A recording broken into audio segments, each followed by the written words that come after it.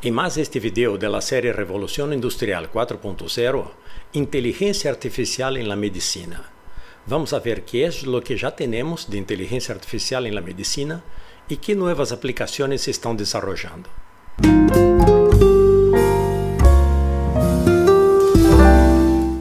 A inspiração para fazer este vídeo sobre inteligência artificial em la medicina vino de comentários que fizeram a doutora Norma Pereira e a doutora Donata Kessi. As doutoras fizeram seus comentários em uma apresentação que hice chamada Novas Oportunidades de la Inteligência Artificial, organizada por el Ateneu Juan Bautista Alberdi em Vicente López, Argentina. Já temos vários vídeos aqui no canal sobre inteligência artificial e suas distintas aplicações. Hablamos de inteligência artificial em la logística, em la educação, em el mostramos muitas aplicações novas que se utilizam dessa tecnologia de software. Com isso já sabemos que a inteligência artificial tem capacidade para tratar grandes quantidades de dados, aprender desde esses dados e generar respostas cada vez que se apresentam dados novos. Por isso, também na medicina, a inteligência artificial já se está usando, onde há muitos dados para analisar, por exemplo, no reconhecimento de imagens. Em las imágenes, cada pixel, cada puntito é um dado e isso se tem que analisar de uma forma muito precisa. E nesse sentido, a inteligência artificial é mais precisa que o ojo humano, seguramente. Também se utiliza já a inteligência artificial para tratar os dados que se tem a partir dos equipos de diagnósticos, não somente por imagens. E outra aplicação que também já se tem é a inteligência artificial analisando detalhes de la voz. Cada vez que nós hablamos para a computadora que recebe o sonido de nossa voz, é como receber muitíssimos dados ao mesmo tempo. E isso a inteligência artificial tem a capacidade de analisar. Por isso que já temos várias aplicações de inteligência artificial que analisam as imagens da radiologia. Por exemplo, temos aplicações de inteligência artificial que aprenderam sobre mais de 50 mil imagens de pulmões a reconhecer problemas em esses órgãos. É como se um médico hubiera estudado 50 mil radiografias e se acordara de todas elas. Também na parte de imagens já temos aplicações com inteligência artificial que permitem analisar a piel através de fotos de las personas ou através de los puntos de la piel donde puede haber alguma irritação, algum problema. A inteligência artificial tem muitíssima capacidade para reconhecer riscos de câncer de piel através de imagens.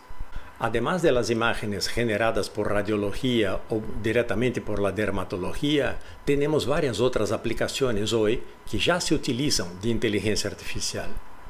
Hay aplicaciones que analizan la voz de una persona cuando llama a emergencias porque siente algún problema que puede ser un problema coronario y analizando la voz la aplicación sabe si la persona tiene alto riesgo de estar teniendo un ataque de corazón. Também há aplicações que reconhecem quando a pessoa tem pneumonia simplesmente analisando uma placa de tórax. E outra aplicação muito interessante que também utiliza inteligência artificial é uma aplicação que analisa a voz e, através desse análise, descobre se a pessoa tem alguma psicose. Também temos hoje aplicações de inteligência artificial que melhoram a imagem generada por los equipos de ultrassonido. Então, quando se hace um ultrasonido durante o embarazo, se pode ver com muito mais claridade a imagem do bebê adentro do vientre da madre. Com essas aplicações, a inteligência artificial já está revolucionando a medicina e seguramente vai revolucionar muito mais com aplicações novas. Entre os usos que podemos ver da inteligência artificial no futuro é a medicina mais preventiva ou seja, os médicos vão poder fazer análise de dados de seus pacientes, recolectando dados através de monitores e de sensores, e com isso actuar antes que a pessoa tenha um problema. Simplesmente quando a inteligência artificial indica que pode haver um risco à saúde da pessoa. Esse trabalho preventivo se vai fazer através de sensores que vamos a ter em nosso corpo não necessariamente invasivos, como vimos no vídeo de Neuralink. Podem ser sensores não invasivos. Por exemplo, hoje um telefone celular já tem a capacidade de contar quantos passos nós damos durante o dia. Não vai tardar muito para que esses equipos tenham a capacidade de monitorear também muitas outras señales vitais das pessoas. Com inteligência artificial, também vamos a ter atenção médica remota e digital. Decimos remota porque vamos a ter cada vez mais a atenção médica a través de teleconferências como já temos hoje em muitos países. Já nos estamos acostumbrando a falar com nosso médico ou falar com algum médico no momento que temos uma necessidade de forma remota, através de teleconferência em nossos celulares ou em nossas computadoras. Pero também vai ser digital porque muitas vezes nossas consultas vão ser contestadas diretamente por um sistema de inteligência artificial sem a intervenção de um médico humano. Outra aplicação que vai crescer muito é a de los robots médicos. Hoje já temos robots que têm a capacidade de fazer operações em pacientes. Muitas vezes esses robots fazem a operação manejados por um médico que pode estar em el mesmo quirófano ou a milhares de quilômetros de distância.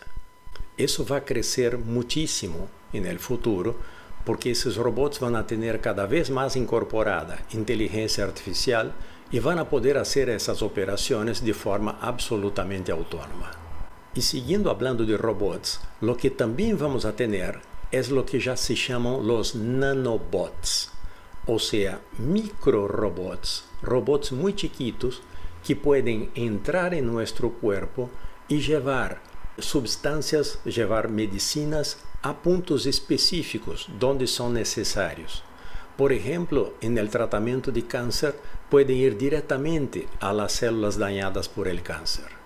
Esses nanobots necessitam inteligência artificial para poder trasladar-se a lo largo do corpo e identificar exatamente quais são as células ou os tecidos que estão enfermos. Outra aplicação que vamos a ter com muito uso de inteligência artificial são as próteses inteligentes. São próteses que necessitam ter um processador com inteligência artificial para receber as señales do cérebro e fazer os movimentos que correspondem. E com isso, a pessoa que necessite uma prótese, com solo pensar em mover, por exemplo, uma mano, que é uma prótese, vai poder realizar esse movimento. Pero para isso necessitamos que a prótese tenha um processador com inteligência artificial para receber a señal e realizar o movimento. De forma muito similar a las próteses, vamos a ter também os exoesqueletos. Los exoesqueletos, ou seja, equipos que a pessoa vai ter em seu corpo de forma externa, le va a permitir a las realizar movimientos cuando la persona tiene discapacidades o para una persona normal va a poder permitir que esa persona pueda realizar mucho más movimientos, como por ejemplo levantar mucho más peso cuando es necesario para su trabajo. El genoma humano está, como ya sabemos, en el ácido desoxirribonucleico, o sea, el DNA que está almacenado em los cromosomos que temos em cada uma de nossas células. Também com inteligência artificial, nos podemos beneficiar cada vez mais do conhecimento do genoma humano. É através da análise do genoma da pessoa e de los síntomas que tiene, da enfermidade que pode ter, a inteligência artificial vai poder personalizar el tratamiento a esa persona y hasta mismo personalizar los medicamentos que esa persona va a necesitar tomar. También tenemos con inteligencia artificial el desarrollo tanto de vacunas como de nuevos medicamentos. Por ejemplo, el desarrollo de las vacunas contra el COVID-19 se utilizó inteligencia artificial para hacer simulaciones y con eso se acortó muchísimo el tiempo de desarrollo de esas vacunas que tanto nos ajudaram no momento da pandemia. Outro desenvolvimento muitíssimo importante é um desenvolvimento que levou adelante a empresa DeepMind de Google. Temos um vídeo aqui no canal sobre essa empresa, não deixem de verlo. DeepMind, através de algoritmos de inteligência artificial, desarrolló la estructura 3D de las proteínas, que es algo muy necesario para el desarrollo y conocimiento de la anatomía humana. DeepMind disponibilizó a través de un banco de datos esses modelos 3D que tienen una certeza alrededor de 90% en relación a la estructura de las proteínas. Lo que dicen los especialistas es que la utilización de una proteína en determinados desarrollos solo se puede hacer cuando se conoce la estructura 3D de la proteína. Y antes de ese desarrollo realizado por DeepMind, muchos especialistas dedicaron muchos años de sus vidas, muchos años de sus carreras a elaborar la estructura 3D de una o dos proteínas.